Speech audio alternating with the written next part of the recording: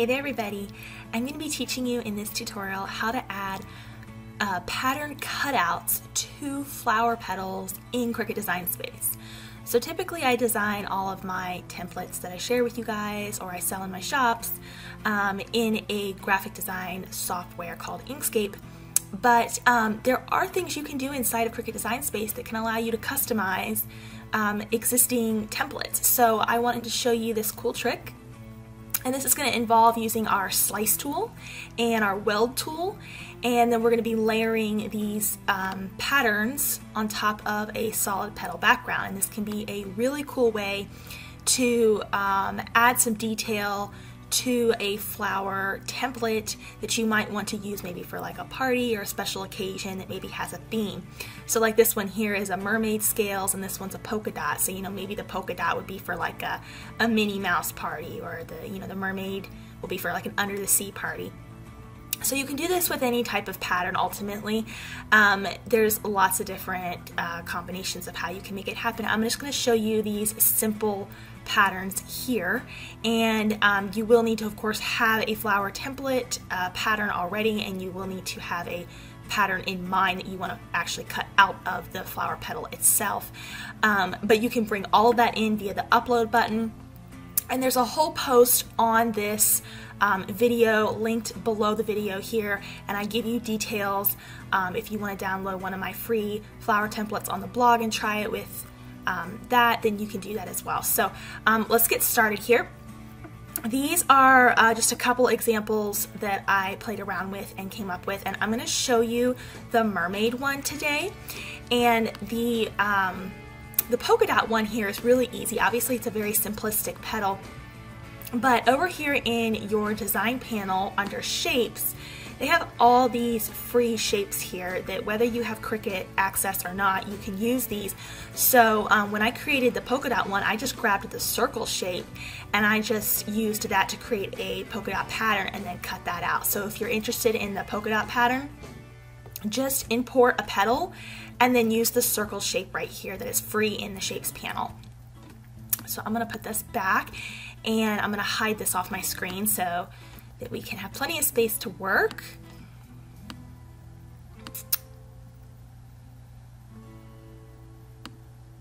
Okay, so first things first, we need to import what we're gonna be working with. So I'm gonna go to my upload button.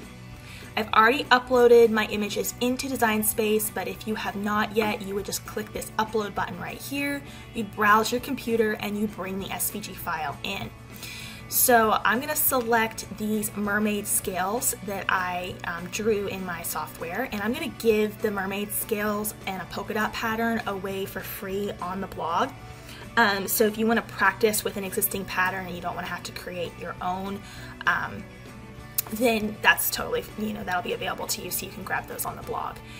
And I'm going to click on view all and just search one of my flower templates here and I'm going to bring these both in. So I need to resize these a little bit. now, one thing I want to say first is, let's say, for example, you want to create your own pattern using the basic shapes in here. Um, I will show you real quick just like kind of the simple way that I do that because I know some of you are going to actually want to know how to make the pattern itself and not just apply the pattern.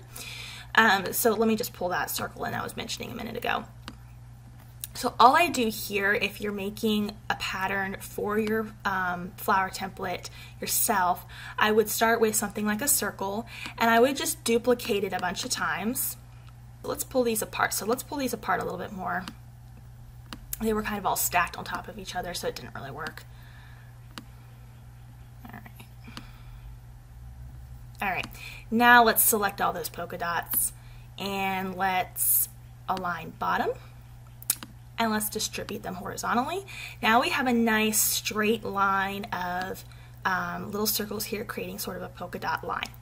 And what I'm going to do next is I'm going to duplicate and I'm going to bring those down here and I'm going to sort of offset it. You see how I'm placing this line sort of in between the spaces of the line above it.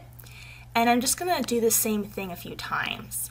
So this would be a very simple example of how you could create a pattern for yourself in Cricut Design Space. And it can be helpful to sort of look at the grid on the screen to like see if you're getting them evenly spaced. Um, generally, when you're dealing with a pattern, I don't like things to be completely absolute. I like there to be a mild variation in it so it doesn't look so mechanical. Um, but you can use your align and distribute tools if you want to be very exact about it as well. So that is exactly how I would create just a very simple pattern there. And then the, the most important part of this is you're gonna wanna weld this together. So once you're happy with the way your pattern looks, you have enough of the pattern that it's gonna cover a petal, then you're gonna wanna select everything and you're gonna wanna weld it together so that it's just one piece. You can see in our layers panel, it changed from a bunch of circles to a welded result. So I just wanted to throw that in there real quick for those of you who wanna like understand how to just sort of create a simple pattern on your screen, that's the step that you would do. So I'm going to get rid of this now, and we're going to go back to talking about the mermaid ones. I already created this as a pattern inside of my graphic design software, but if, for example, I only had one of these mermaid scales, you could do exactly the same thing we just did with the polka dots. You could just create a line of them and then start building a pattern out like that. And when I imported these, you can see over here in my layers panel to the right that each one of these is individual. I can click on each one of these scales and move them freely from the others. So what that means is when we bring this petal over here, if we were to try to add this pattern now, and we were to select all that, you can see our slice tool is not available because the slice tool only works with two images at a time.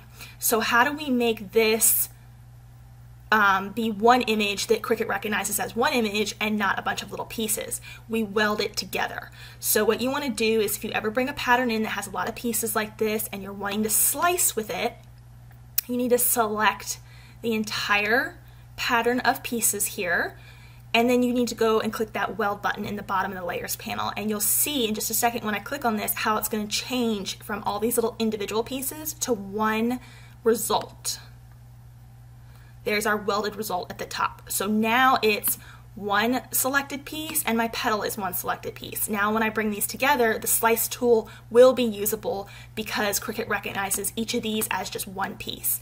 There's spaces between these, but we welded it together so Cricut still recognizes it as one piece. So what I'm gonna do now is I'm gonna pull this petal behind and I'm also gonna duplicate this. It's always a good idea to have a duplicate um, because we're going to create a frame around it as well, a little edged frame around this. Um, you don't have to do that part. You could leave it sort of freestyle, um, but I'm going to show you how to do that because most people want to know how to do that.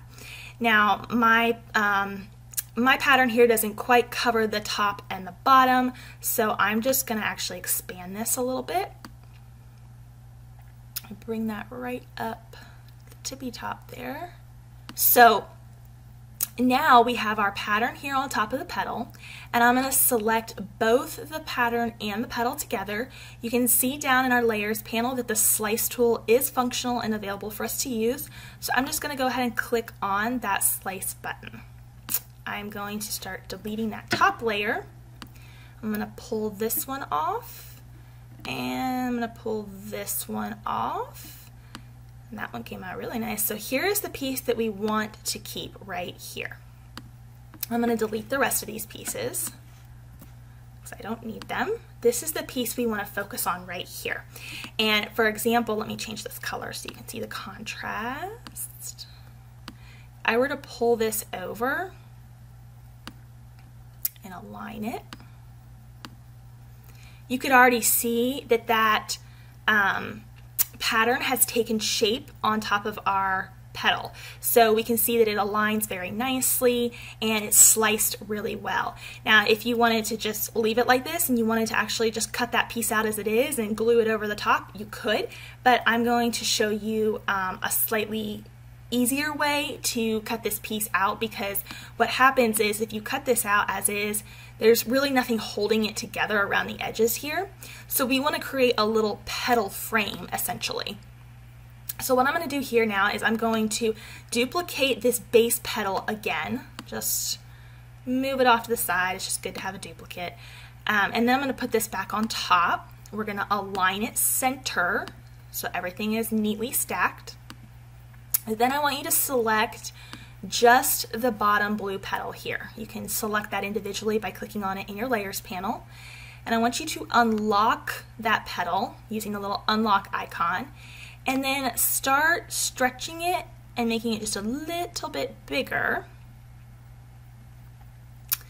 Click off and select both those pieces and then hit center again. You can sort of start to see a little framed edge around there. I want it to be just a little bit, a little bit bigger. Let me do that.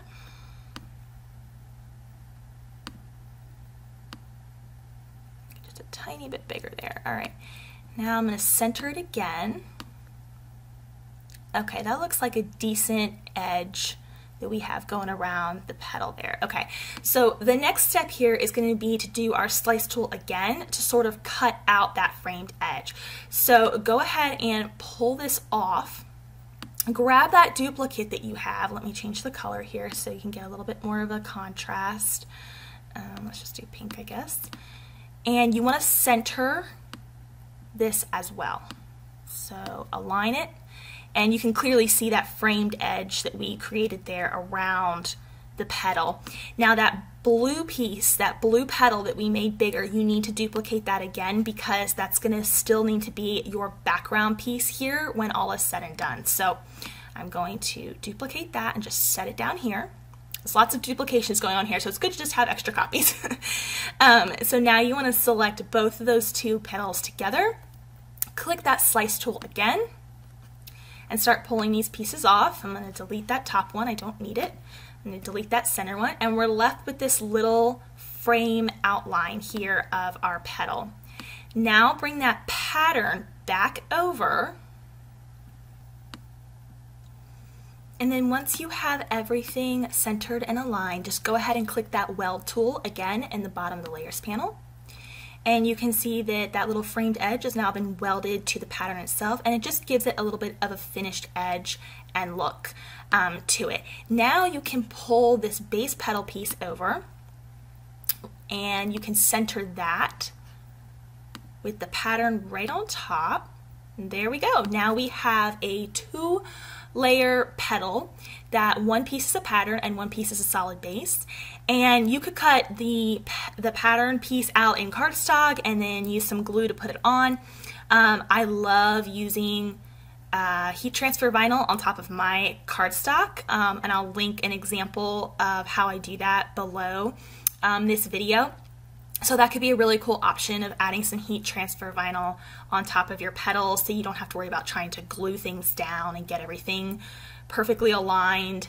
Um, it's a lot easier to use heat transfer vinyl. So I think this could be a really cool concept. I think you could do like, um, I think it'd be really pretty if you did maybe a purple petal for this mermaid concept and then maybe you did like glitter heat transfer vinyl in, gold or something like that i think that would be um, really pretty. So that is the process that i use to create my um, pattern flower petals inside of cricut design space. Typically i would do this in um, inkscape and then just save everything and bring it in. But for those of you who are not wanting to learn um, graphic software or are not graphic software savvy, then this is a great option um, where you can still customize some things. If you are interested in learning more about how to use Inkscape to create your own SVG files, I'm going to link um, a special program for you below that I have that you might enjoy. Um, so I really hope you enjoy this tutorial and then you would just go ahead and cut out these petals and build a beautiful flower. I'm going to link below also how I build a paper flower um, so you can see how it's actually done. So I think I'm going to actually make one of these as well and I'll just show you kind of the result of how it turns out on the blog post. So be sure to visit that below and you can also learn more about uh, my free templates and my supplies that I would use to build paper flowers below this video as well. See you guys next time.